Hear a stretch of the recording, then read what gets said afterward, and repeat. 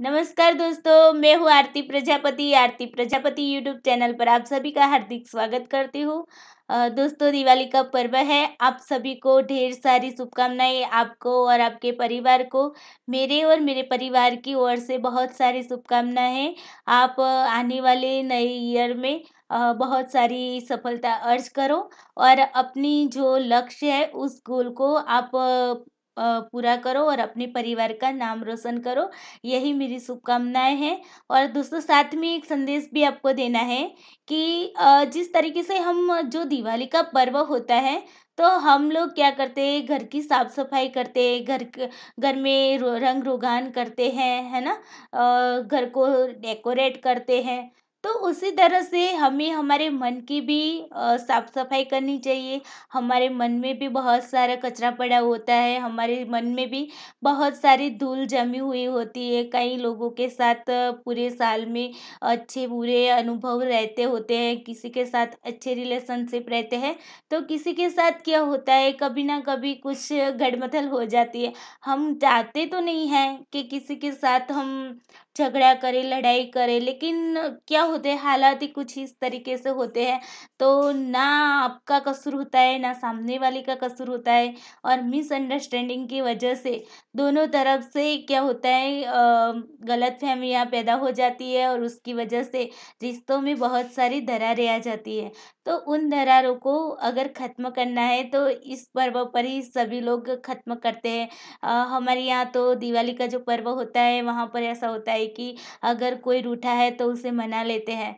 तो दोस्तों, अगर आपके मन में भी कहीं कोई धूल जमी हुई है किसी रिश्ते को लेकर या अपने दोस्तों के लेकर या फिर अपने परिवार के कुछ लोगों लोगों से लेकर तो उन सभी धूल को साफ़ कर देना और अपने मन को भी बहुत अच्छे से सजा लेना ताकि हमारा मन भी बहुत अच्छा लगे जिस तरीके से हम अपना घर डेकोरेट करते हैं ना।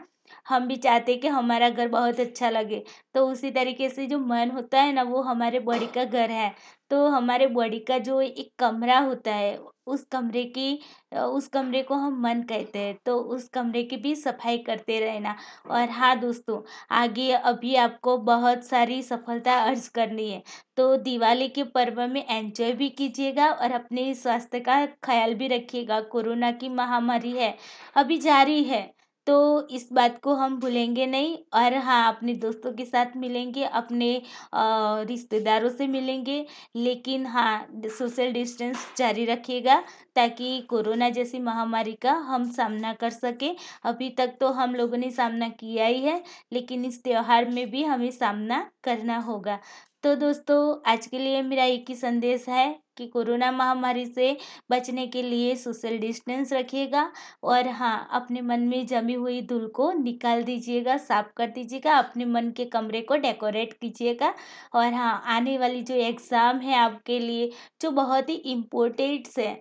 तो उसके लिए भी अपनी जो पढ़ाई है वो जारी रखिएगा। ऐसा ना हो कि एग्ज़ाम के वक्त फॉर्म डाल दिया और उसके बाद हम प्रिपेरिज़न करेंगे तो क्या होगा? हमारे पास टाइम बहुत कम होगा और हमारे पास जो प्रिपरेशन करने का जो सिलेबस होता है, वो सिलेबस बहुत ज़्यादा होता है। तो क्या होता है कि उस टाइम पर हम प्रिपरेशन नहीं कर पाते, हमें कुछ रास्ता ही नहीं दिखता है कि इतनी शॉर्ट टर्म में हम कैसे इतना सारा सिलेबस पूरा करेंगे। तो दोस्तों, अभी से ही आप लगे रहिए और ऐसा, ऐसी ऐसा वेट ना कीजिए कि फॉर्म आए और फॉर्म डाले और उसके बाद हम प्रिपेरेशन करेंगे तो ये गलत है। आप अभी से ही अपनी प्रिपेरेशन जारी रखिए और आगे जब फॉर्म आए, तब आपकी सिर्फ़ प्रैक्टिस ही बाकी रहे। इस तरीके से प्रिपरेशन जारी कर दीजिएगा। चलिए दोस्तों, आज के लिए बस यही संदेश देना था। इसीलिए आपसे इस तरीके से वीडियो से पहली बार आपके सामने आ रही हूँ। तो दोस्तों, मेरे और मेरे परिवार की ओर से आप सभी को हैप्पी दिवाली। एंजॉय करना और अपने मन में भी लाइट्स लाइट्स ऑन कर देना, ओके? चले दोस्तों, मिलते हैं फिर कभी। Thank you.